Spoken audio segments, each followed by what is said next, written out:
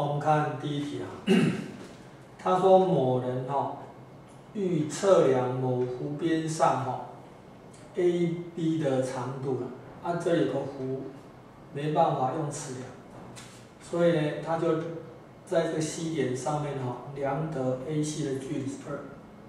这个角度七十五，啊这角度四十五，啊问 AB 等于多少？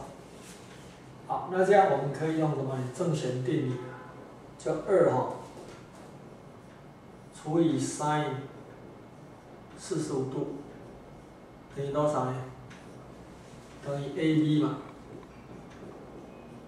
啊除以 sin 七十五度，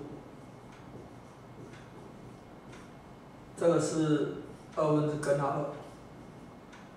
二，啊这是四分之根号六减根号二，约分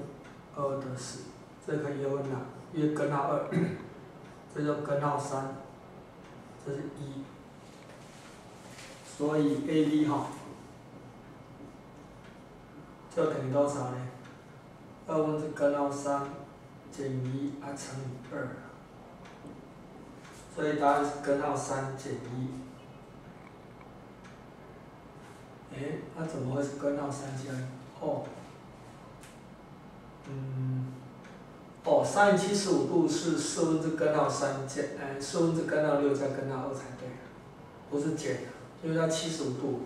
十五度这里才是减，哦，七十五度这里是加，所以这应该是加，